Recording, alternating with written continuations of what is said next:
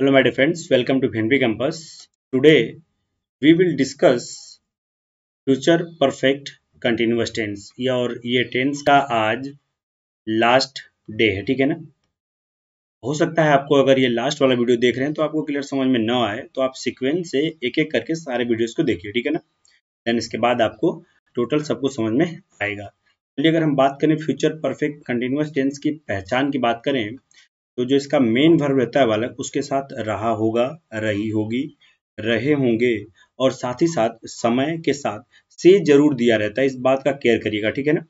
Then से के लिए हम सिंस फार का प्रयोग करते हैं, इसमें फ्रॉम का भी प्रयोग कर लेते हैं, ठीक है? जैसे अगर एग्ज़ाम्पल की हम लोग बात करें कि राम दो घंटे से घूम रहा होगा, सीता सुबह से रो रही होगी, ठीक है ना? और अगर इसकी हेल्पिंग वर्क की बात करें तो विल हैव बिन और सेल हैव बिन इसकी हेल्पिंग वर्क होती है, ठीक है ना? तो ये रही इसकी पहचान और ये रही इसकी हेल्पिंग वर्ब अब आइए एक एक करके हम लोग इसके बनाने के तरीकों को सीखते हैं, ठीक है? तो आपके सामने है अफर्मेटिव सेंटेंस अफर्मेटिव सेंटेंस की अगर हम लोग बात करें कि इसका सीक्वेंस कैसा होगा, कैसे इसको बनाया जाएगा तो सबसे पहले हम लोग सब्जेक्ट रखेंगे। इसके बाद विल हैव बीन या सेल हैव बीन ठीक है? Shall have been then verb की फ़र्स्ट फॉर्म में I N G then object since for plus time रखेंगे, ठीक है ना? एक एग्ज़ाम्पल मैंने यहाँ लिखा हुआ है, आप देख रहे होंगे कि राम घूम रहा होगा। क्या इसमें समय दिया हुआ है? टाइम नहीं दिया हुआ है। और विल बी किस टेंस का? हेल्पिंग वर्ब बताइए। तो फ्यूचर कंटिन्यूस टेंस का, ठीक है ना? तो Ram will be walking but यहाँ पर टाइम दे दिया वाला कि राम दो घंटे से घूम रहा है। जब दो घंटे से टाइम दे दिया है तो सेंटेंस हो जाएगा बच्चा, वो फ्यूचर परफेक्ट कंटिन्यूस का हो जाएगा। क्लियर इतना?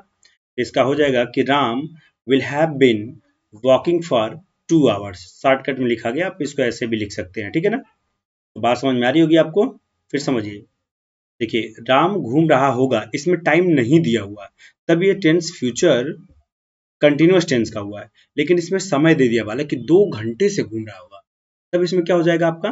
कि ये sentence future perfect continuous tense का हो जाएगा। क्लियर है? आई होप आपको समझ में आ रहा होगा। नेक्स्ट देखते हैं। कुछ और एग्ज़ाम्पल जैसे वो खेल रही होगी, क्या इसमें आपको कहीं टाइम नज़र आ रहा है? बताइए।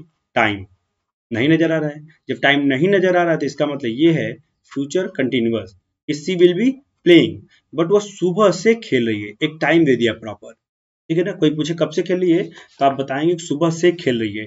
तो she will have been playing since morning अगर आप सिंस और फार के बारे में नहीं जानते हैं तो मैंने एक वीडियो लेक्चर बनाया हुआ है, उसको आप जाके देख सकते हैं, जिसमें सिंस और फार क्लियर हो जाएगा, ठीक है ना?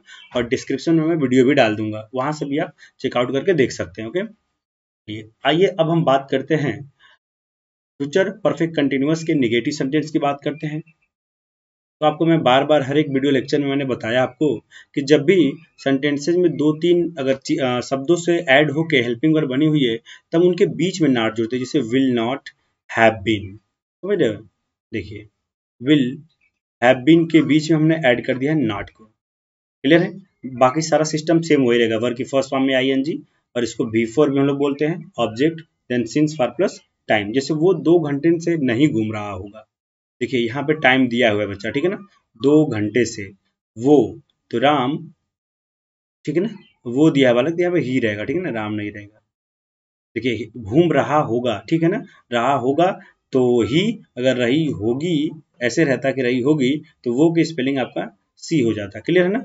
तो सी या he will not have been walking for two hours I hope ये चीज़ आपको समझ में आ गई होगी, ठीक है ना? जैसे वो दोपहर से नहीं खेल रही होगी तो सी वोंट अच्छा देखिए विल नॉट का विल नॉट को शॉर्टकट फॉर्म में हम लोग वोंट लिखते हैं। क्लियर है? अच्छा इसको हम लोग पढ़ेंगे बालक तो क्वेश्चन टैग में पढ़ेंगे, ठीक है ना? क्वेश्चन टैग के अंतर्गत हम लोग पढ़ेंगे कि कैसे हेल्पिंग वर्ब्स को या वर्ब्स को हम लोग कैसे शॉर्टकट में लिखते हैं, ठीक है ना? अब बात करें हम लोग इंट्रोगेटिव सेंटेंस की तो इंट्रोगेटिव सेंटेंस में मैं बार बार बोल रहा हूँ, आपके दो टाइप्स होते हैं। एक एच बी टाइप्स होता है, दूसरा डब्ल्यू एस टाइप होता है। एच बी टाइप का मतलब होता है ऐसे वाक्य जिनसे अगर प्रश्न पूछने का कार्य किया जाए और उस प्रश्न का आंसर आपको यस या नो में मिल जाए। जिस क्वेश्चन का आंसर आपको अगर यस या नो में मिलता है तो आप सेंटेंस की शुरुआत विल सेल या कह सकते हैं कि हेल्पिंग वर्ब से स्टार्ट कर सकते हैं। क्लियर है? और जिसका आंसर आपको पूरा का पूरा एक्सप्लेन करने की ज़रूरत पड़े तो उस सेंटेंस की शुरुआत हम लोग डब्ल्यू से करते हैं। क्लियर है? आइए एग्ज़ाम्पल के थ्रू हम लोग समझते हैं। जैसे राम दो घंटे से कहाँ घूम रहा होगा?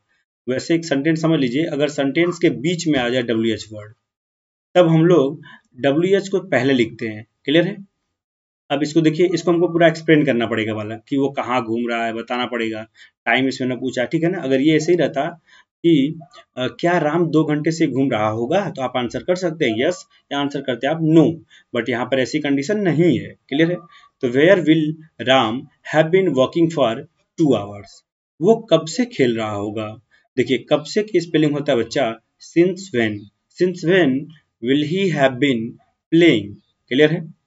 तो देखिए, कुछ एग्जाम्पल्स मैंने आपके लिए हैं।